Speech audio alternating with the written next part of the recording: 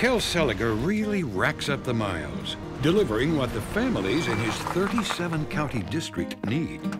He restored funding to our schools and colleges. He led the campaign to pass Proposition 6, providing $2 billion for future water supplies.